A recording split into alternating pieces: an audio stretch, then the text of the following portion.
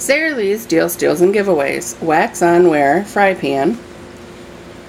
My husband is doing some pork mandolins in the fry pan. And as you see, you get plenty of room in here. And the lid really seals in the flavor. So check out the link below on how to get your pan today.